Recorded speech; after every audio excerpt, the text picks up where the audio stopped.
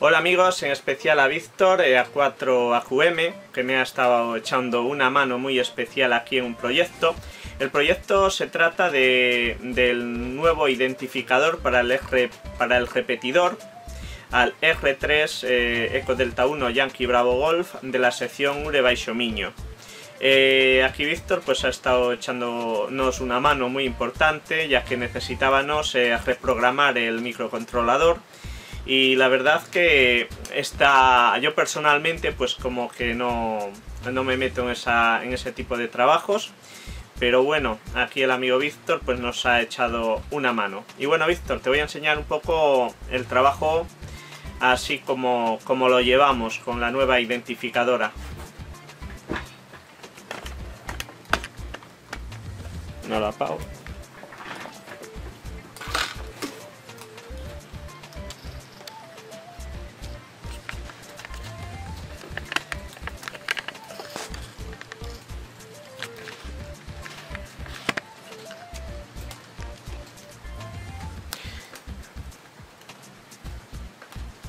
3, 2, 1, ya. Bueno, la identificadora es esta, ya la tengo colocada en su caja, es la misma caja que teníamos anteriormente. Hay un vídeo de hace dos años que aparece. Y bueno, eh, la única diferencia, que son tonterías que se le han puesto, es un cable de alimentación, un conector.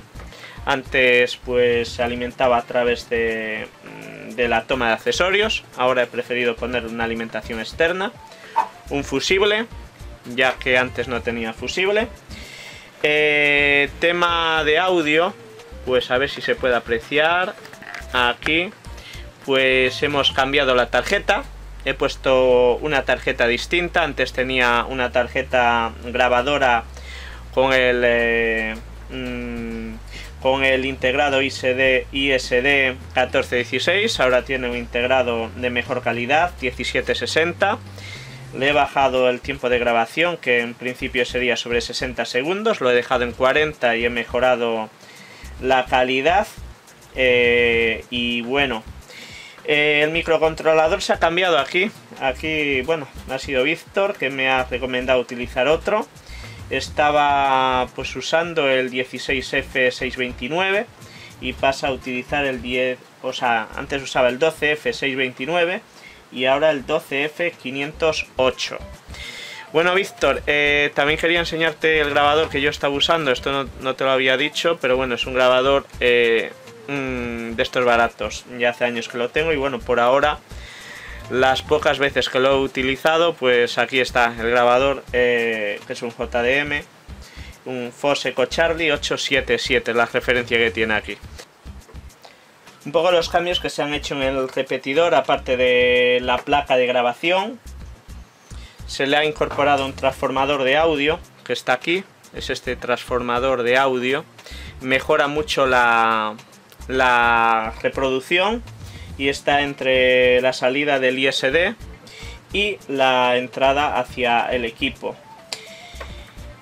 Y bueno, es un poco tutti quanti lo que tenemos aquí. Nada más.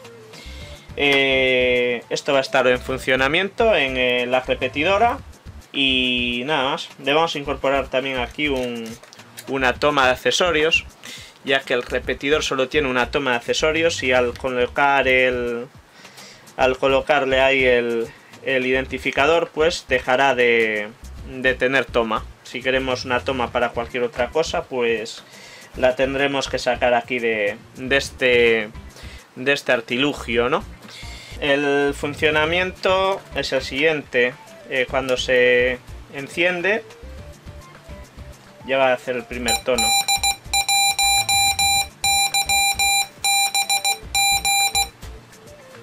Bueno, dentro de 12 minutos, 12-13 minutos aproximadamente, enviaría la señal de, de fonía.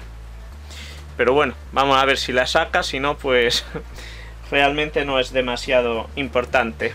No, me estaba quedando sin batería en la cámara y entonces he decidido, pues para mostraros cómo suena, eh, sacar el pick y simplemente pues hacerlo a mano con un pulsador.